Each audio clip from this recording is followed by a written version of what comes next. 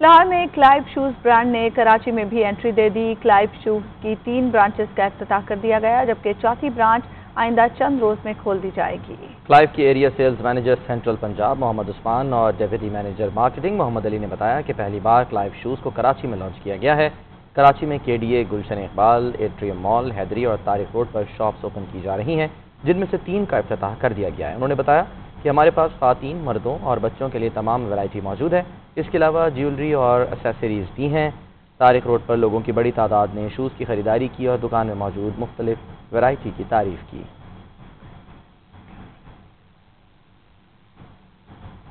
fast bowler